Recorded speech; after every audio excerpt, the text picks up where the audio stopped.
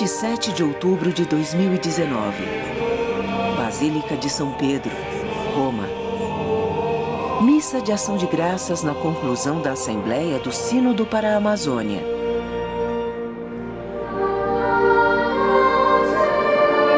Uma Assembleia especial. Três semanas de uma verdadeira sinfonia, feita de respeito, partilha e escuta. Um tempo de intensa oração, de fé e de esperança. Uma Eucaristia de exaltação à vida e ao Criador. Um verdadeiro kairós de reverência aos céus e à Mãe Terra. Dentro e fora da sala sinodal, todos sintonizados em uma melodia comum, interligados, ouvindo as vozes e clamores da Amazônia, ouvindo a voz do Espírito de Deus, avançando como pede o Mestre para águas mais profundas.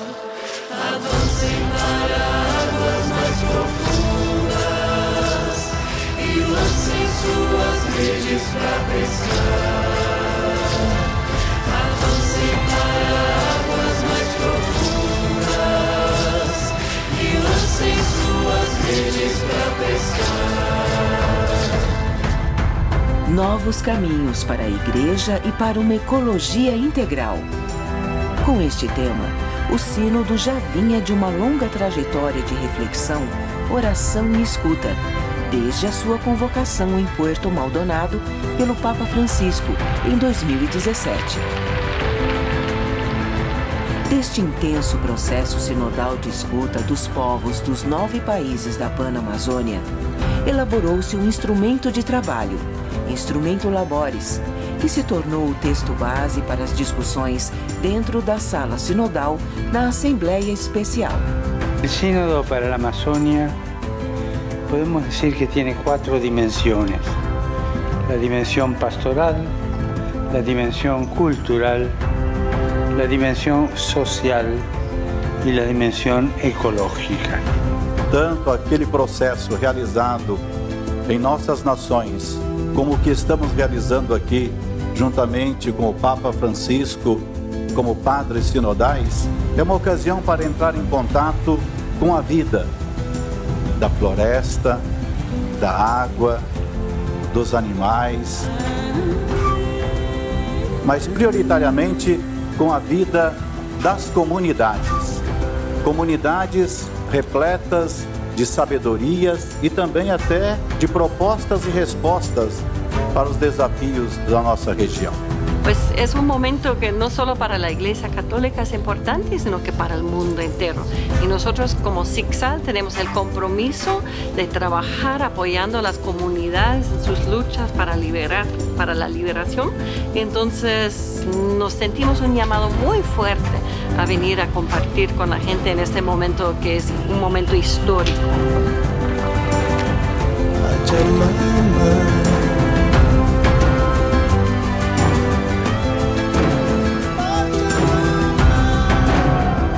Na sala sinodal, antes do início dos trabalhos, o relator Dom Cláudio Umes, num determinado momento, faz a distinção entre tradicionalismo e tradição.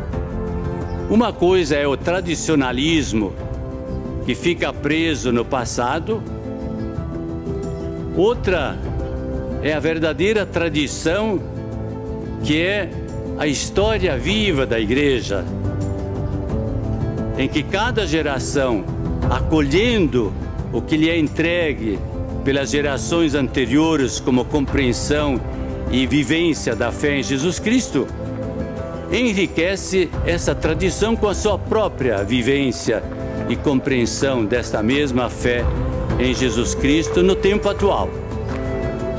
não tenhamos medo do novo. Não tenhamos medo de Cristo, o novo. E esse sínodo procura novos caminhos.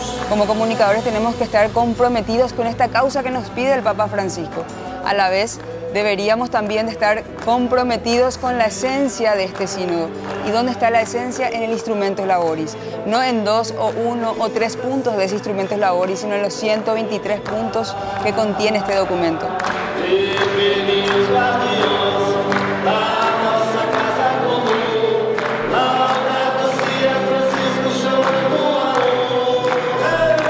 Así como en estos 2000 años de historia la Iglesia se ha ido inculturizando en cada una de las regiones, ahora el Papa quiere que reflexionemos más sobre el papel de la Iglesia en los pueblos del Amazonas. O sínodo significa muito porque a igreja empenhada em lutar por essas causas, por essas comunidades que sofrem há tanto tempo violações de direitos humanos. La minería contamina el aire, la minería destruye bosques.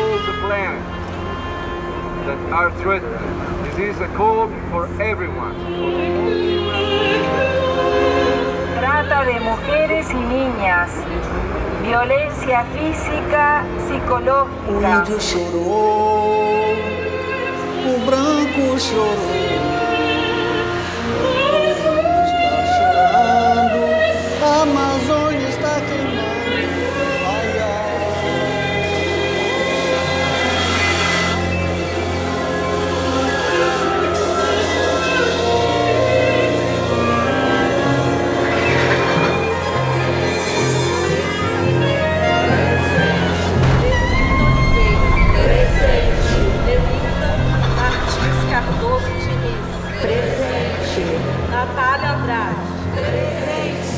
Adriano Amaral.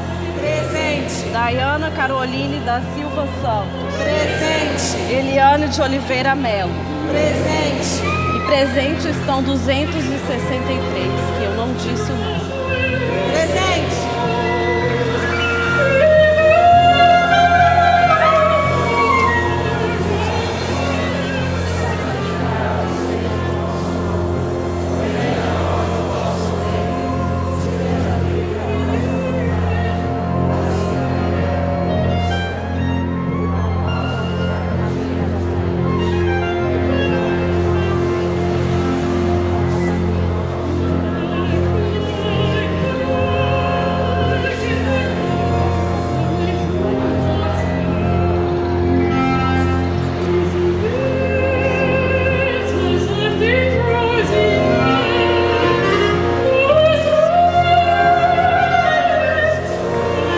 Felizes os perseguidos por causa da justiça, porque deles é o reino dos céus.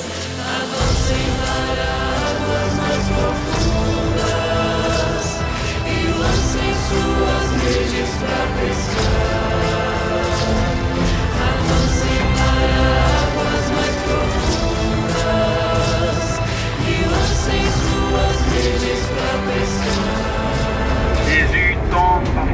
la deuxième fois Centenas de pessoas de várias partes do planeta acompanharam a Via Sacra dos Mártires, iniciada nos arredores do Castelo Santo Ângelo, em direção à Praça de São Pedro. Neste trajeto, entre cantos e gestos, foram lembradas as pessoas que deram a vida pela causa da Amazônia e de seus povos. Algo semelhante aconteceu diariamente na Tenda Casa Comum, com a celebração do ofício dos mártires da caminhada.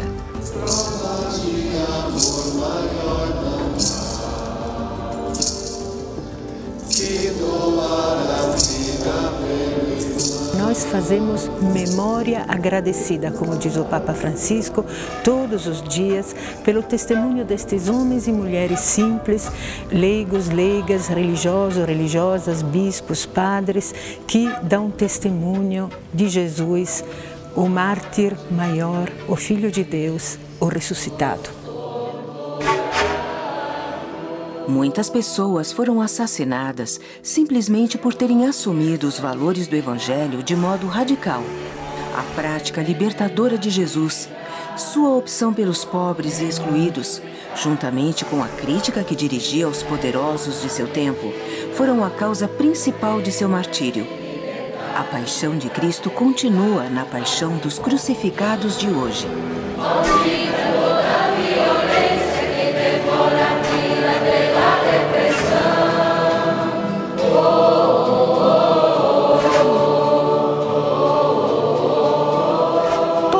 Sínodo é histórico, todo papa é histórico, mas esse tem uma característica, ele é revolucionário.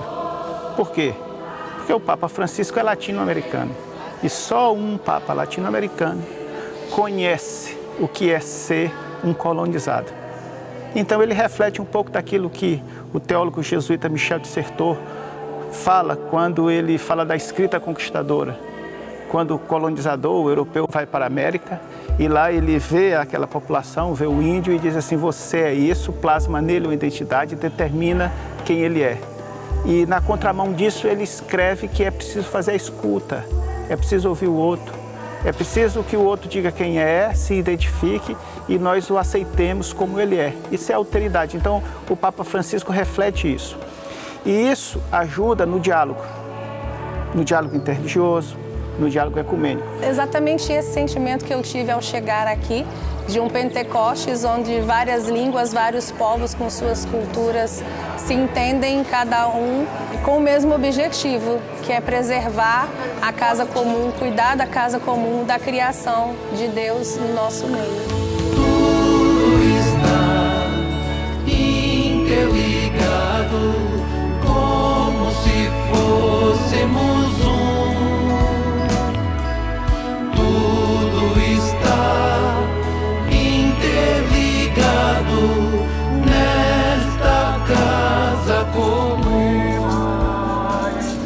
Consolar e ser consolado, compreender e ser compreendido, amar e ser amado. É sabido que este sínodo não obteve o apoio de alguns grupos isolados, ultraconservadores, dentro e fora da igreja. No entanto, como a história tem revelado, as grandes causas nem sempre são abraçadas pela unanimidade. Las críticas también las recibió Jesús.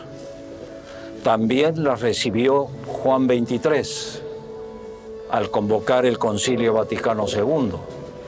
Las críticas las recibió también Benedicto XVI, ¿no? Y también ahora el Papa Francisco. Con el Papa Francisco y con toda la Iglesia caminamos firmes en la defensa de la vida y la creación de Dios con la especial intercesión de San Francisco de Asís. Se as vozes contrárias é porque está incomodando, né? Senão, se tivesse tudo apaziguado, é sinal que não estava incomodando, né? Incomoda porque é uma, é uma chamada de responsabilidade. Giona è il modello di quei cristiani a patto che, cristiani con condizioni. Io sono cristiano ma a patto che le cose si facciano così. No, no, questi cambiamenti no, non sono cristiani. Questo è eresia, questo non va. Cristiani che condizionano Dio, che condizionano la rivelazione di Dio. Num ato que gerou perplexidade, a tenda da Casa Comum, na igreja de Santa Maria, em Transpontina, foi assaltada por indivíduos que entraram e roubaram algumas estatuetas trazidas por indígenas cristãos, convidados pelo Papa. Trata-se de algumas réplicas da imagem de uma mulher grávida, que para os indígenas é sinal da fertilidade da Mãe Terra. O ato foi filmado pelos próprios vândalos, que por medo ou covardia não filmaram os próprios rostos. Em alguns sites da internet, pessoas acostumadas a fazer caricatura com os gestos e palavras do Papa Francisco apoiaram este ato de intolerância, alegando que as estátuas eram ídolos pagãos da Amazônia.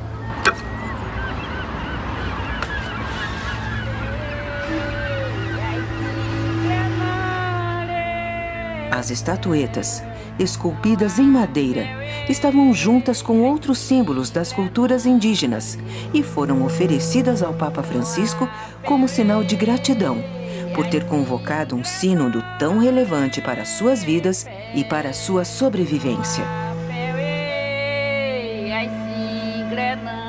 Para os povos indígenas, o ocorrido não é uma novidade. É, desde o processo de invasão do Brasil, é, de ocupação das terras indígenas, nós, povos indígenas, a gente vem passando por isso. A desacralização do sagrado, a ofensa com os nossos símbolos, isso, isso não é novidade.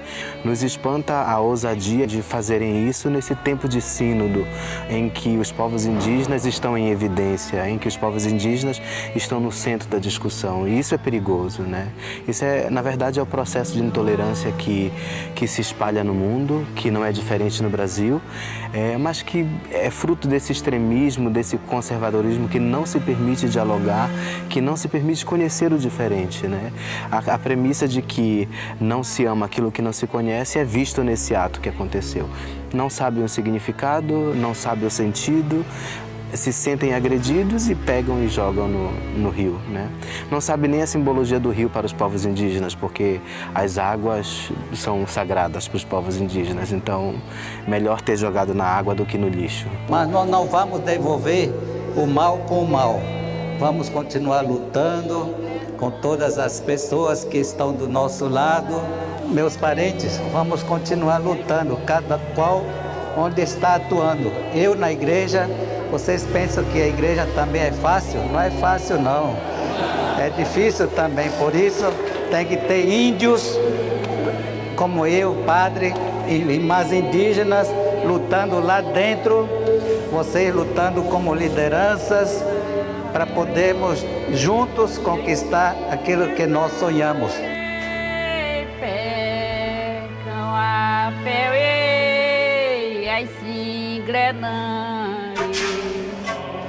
Essa música é cada vez mais para ficar perto dos outros, não é para não ficar afastado.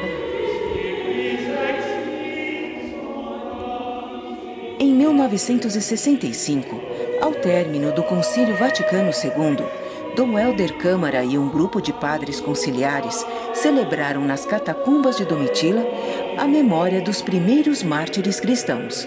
Ali assinaram o compromisso de fidelidade à verdade do Evangelho e aos mais pobres e o batizaram de Pacto das Catacumbas. São tantos os mártires no verde da floresta. Paso de las catacumbas por la casa común, por una iglesia con rostro amazónico pobre y servidora, profética y samaritana.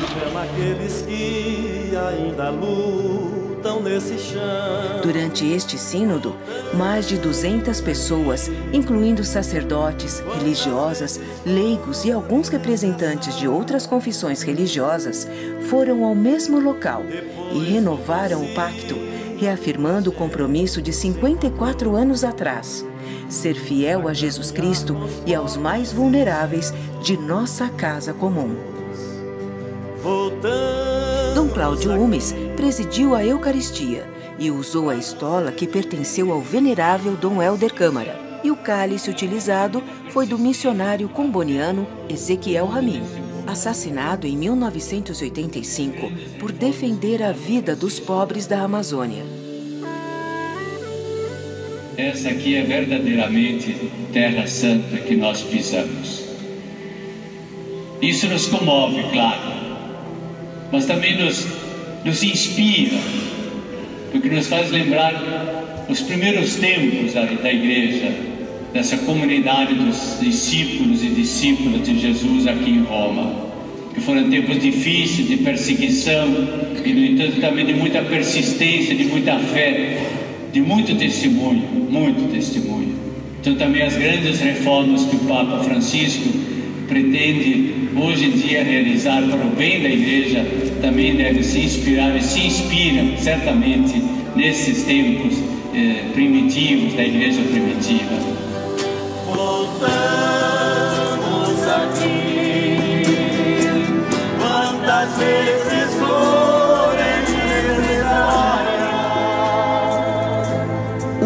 Dos 16 compromissos do pacto, pede para se cultivar verdadeiras amizades com os pobres, visitar os doentes, exercendo o ministério da escuta, do consolo e do apoio, que trazem alento e renovam a esperança. Neste quesito, Irmã Dulce, o anjo da Bahia, foi uma verdadeira mestra. A gente vive a vida deles. Já não vive mais a nossa vida. A gente vive a vida dos outros. A gente vive a vida de Cristo na pessoa do pobre. A gente vive a necessidade dele, vive os problemas dele. E não os nossos problemas. A gente esquece às vezes que está doente, que tem uma coisa. Por quê? Por causa dos problemas dele. Primeiro eles, depois nós. Então a gente vê que é a providência divina. Quem mantém, quem toma conta, quem dirige. E que a gente aqui é somente um instrumento bem fraco nas mãos de Deus. La Beata Dulce Lopes Pontes, al secolo Maria Rita, nacque in Brasile, a São Salvador de Bahia, il 26 maggio 1914. Que grata coincidência! Durante o Sínodo, o Papa Francisco canonizou Maria Rita de Souza Brito Lopes Pontes como Santa Dulce dos Pobres. Viver em Roma e fazer parte desse evento hoje maravilhoso. Só tenho que agradecer e que Manduce faça, continue fazendo milagre na vida das pessoas. É o reconhecimento da generosidade, é o reconhecimento da fé em Cristo de forma plena. Dulce Lopes Pontes. Uma alegria enorme para nós estarmos presenciando esse momento, testemunhando esse momento, mas também uma responsabilidade de encarnarmos o carisma como ela também encarnou. Então, para mim é uma coisa indescritível, uma coisa que a gente não pode colocar em palavras. É impossível transmitir num breve documentário como esse a riqueza de tudo o que aconteceu nesta caminhada sinodal. O que pode se dizer é que a partir desse sínodo, a Amazônia já não será mais a mesma, nem Roma provavelmente será a mesma. E seguramente a Igreja, povo de Deus, avançará por novos caminhos em direção a águas mais profundas. Cuando alguien me preguntaba cuál era mi expectativa para este sínodo, y la respuesta para mí era muy simple. Quiero poder regresar a ese sitio donde trabajamos cotidianamente, mirar a los ojos a esas mujeres y hombres de pueblos, comunidades, los que sostienen la iglesia cotidianamente allá y decirles que honramos sus vidas, que honramos sus palabras, que sus voces fueron escuchadas y que al menos nos dimos el tiempo seriamente de incorporarlas en este proceso. Que la periferia, como nos dijo alguna vez el Papa Francisco, pudo iluminar al centro. Y ojo que la periferia no quiere sustituir al centro, ojo que la periferia no quiere derrumbar al centro. Es como en la mirada evangélica, siempre la periferia iluminó, permitió mirar de otra manera, enriqueció, ayudó a salir del sitio seguro. Y eso es lo que está haciendo este sínodo. No tengamos miedo. Y además, como el Papa nos lo insistió en alguna audiencia que tuvimos con el Cardenal Lumes y el Cardenal Barreto, no perdamos el foco. El foco son las vidas de estas personas, sus futuros y toda la realidad también que desde ellos nos grita, pero también la esperanza que nos trae.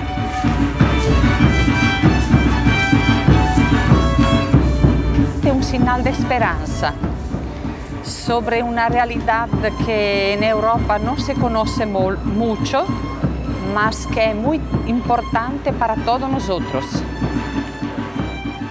O documento final, aprovado pela Assembleia Sinodal, está nas mãos do Papa Francisco e em breve nos será apresentado, muito provavelmente, em forma de exortação apostólica. A partir daí, outros documentários serão produzidos com os temas específicos deste documento. Este sínodo é como uma mesa que Deus preparou para os seus pobres e nos pede a nós que sejamos aqueles que humildemente servem à mesa. Obrigado.